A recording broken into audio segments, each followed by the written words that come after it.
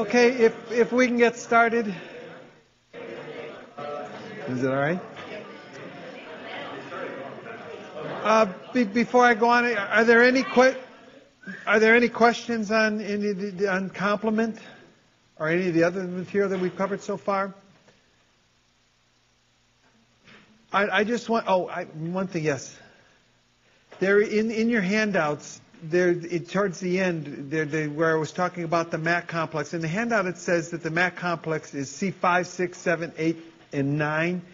Uh, strictly speaking, the, the MAC complex is, is the complex of 5, 6, and 7. That's the membrane attack complex. Sometimes you see the term used to refer to both the, the entire, the whole complex or just that. But strictly speaking, the MAC complex is actually just C5, 6, and 7, that complex that attacks and then inserts into the membrane. Okay? So you can correct that in your notes.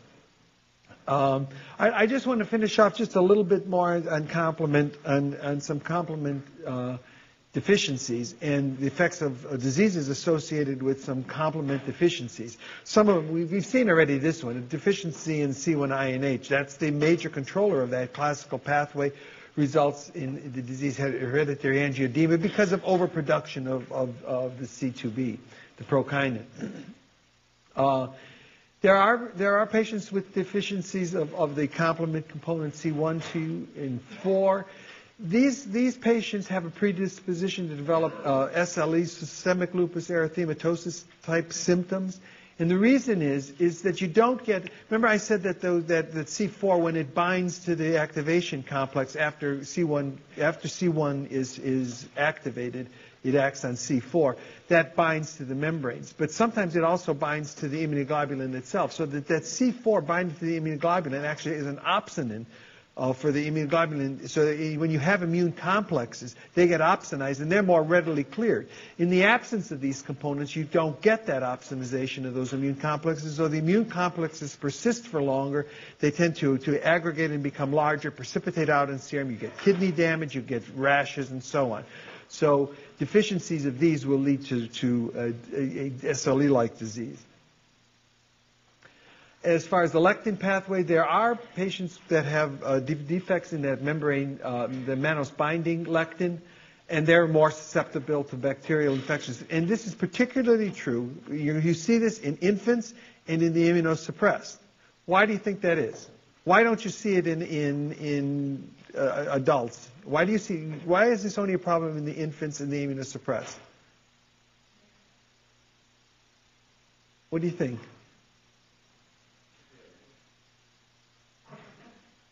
We probably have, we have antibodies to a lot of these things. We, we can use the classical pathway. Infants don't have that. They're not making their own antibodies yet. And similarly, the immunosuppressed are going to have problems making antibodies and responding. So you, these, these other these pathways, the lectin pathway and then the alternative pathway, are more important in those individuals. So that we, so we typically see it in these individuals. As far as the alternative pathway, there are factor, uh, defects in factors B or D. Uh, and there, then they become more susceptibility to uh, particularly pus-forming bacterial infections. And again, it's because they don't get opsonized. The, the, the, particles are just not being opsonized sufficiently, and they're not cleared as rapidly for, by the phagocytic cells. C3 deficiency is a very serious deficiency, and they're susceptible to most bacterial infections. And again, it's due simply because they just don't get, the, the particles are not getting opsonized properly. And in addition, without C3, you don't have anything going on. You, you, can't, you can't enter into the, uh, the lytic pathway is non-functional. You can't opsonize these particles. Deficiencies in the later components of, of um, um, the, the, the lytic pathway, these, these patients are susceptible to gram-negative bacteria. Now, you haven't had the, the bacteriology section, but I'm sure some of you have had some, some bacteriology.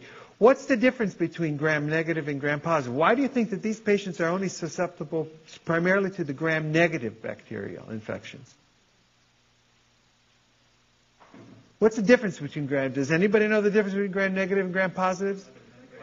Uh, outer membrane, right? But gram-negatives have an outer membrane, gram-positives don't. These are, this is what lyses the outer membrane of gram-negative bacteria and then kills, the, inactivates or kills the bacteria. Gram-positive bacteria don't have an outer membrane, and, and they're, they're not susceptible to lysis by complement.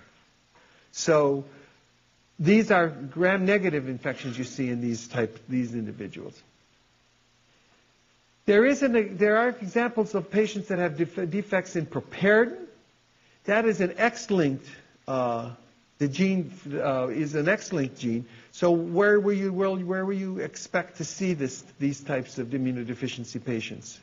In men, all right. You'll see it in men, uh, and they're, they're, this is noted with particularly susceptibility to development of pneumococcal meningitis.